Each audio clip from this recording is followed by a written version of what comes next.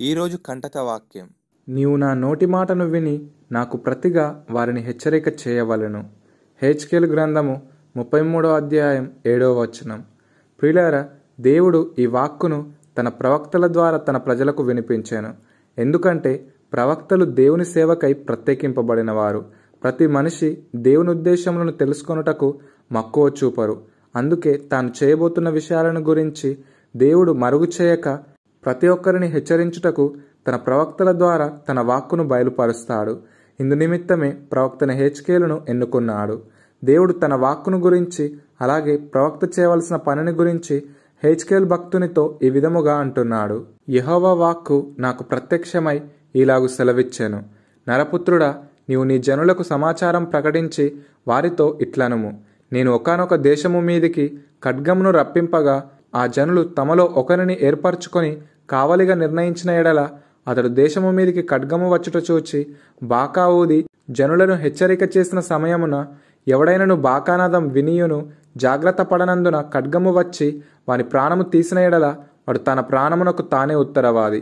బాకానాదం వినియును వాడు జాగ్రత్త పడకపోయేను గనక తన ప్రాణమునకు తానే ఉత్తరవాది.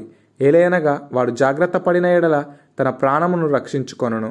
అయితే కావలివాడు ఖడ్గం వచ్చుట చూచియు బాక ఊదనందు చేత జనులు అజాగ్రత్తగా ఉండుటయు ఖడ్గము వచ్చి వారిలో ఒకని ప్రాణం తీయుటయు తటస్థించిన ఎడల వాడు తన దోషమును బట్టి పట్టబడినను నేను కావలివాని యొద్ద వాని ప్రాణమును గూర్చి విచారణ చేయుదును. నరపుత్రుడా నేను నిన్ను ఇస్రాయేలులకు కావలివానిగా నియమించి ఉన్నాను.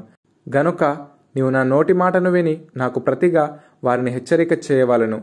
దుర్మార్గుడా నీవు నిశ్చయముగా మరణం నందువు అని దుర్మార్గునికి నేను సెలవేయగా అతడు తన దుర్మార్గతను విడిచి జాగ్రత్త పడునట్లు నీవు ఆ దుర్మార్గునికి నా మాట తెలియజేయని ఎడల ఆ దుర్మార్గుడు తన దోషమును బట్టి మరణం నొందును కాని అతని ప్రాణంను గూర్చి నిన్ను విచారణ చేయుదును. అయితే ఆ దుర్మార్గుడు తన దుర్మార్గతను విడవవలనని నీవు అతని హెచ్చరిక చేయగా అతడు తన దుర్మార్గతను విడవని ఎడల అతడు తన దోషమును బట్టి మరణం నొందును కాని నీవు నీ ప్రాణము దక్కించుకొందువు అని. ప్రియులారా నశించు వారికి సువార్తను ప్రకటించు భారం దేవుడు మనలందరికీ అప్పగించాడు. అందుకే మనం సమయమందును అసమయమందును దేవుని సువార్తను అనేకులకు ప్రకటించు వారమై ఉండాలి. సువార్త విని దానిని నమ్మిన వారు రక్షింపబడతారు.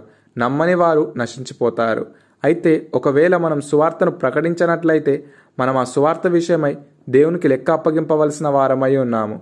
ఇది గ్రహించిన పౌలు భక్తుడు అయ్యో నేను సువార్తను ప్రకటింపకపోయిన ఎడల నాకు శ్రమ అని పలికాను. ప్రియులర రక్షణ పొందిన ప్రతి ఒక్కరి మీద సువార్త భారం మోపబడి ఉన్నది. అందుకే సువార్త విషయంలో మనం సిగ్గుపడకుండా ప్రతి ఒక్కరికి ఆ సువార్తను ప్రకటించు వారమై ఉందాం. ఈ వాక్యము ప్రతిదినం మనం సువార్తను అనేకులకు తెలియజేయాలని మనకు గుర్తు చేస్తుంది. గనుక ఈ రోజంతా ఈ వాక్యాన్ని ధ్యానిస్తూ పౌలు వలె సువార్తను గురించి ప్రయాసపడువారమై ఉందాం. అటు ఆత్మచేత దేవుడు మనలను నింపునుగాక. ఆమెన్.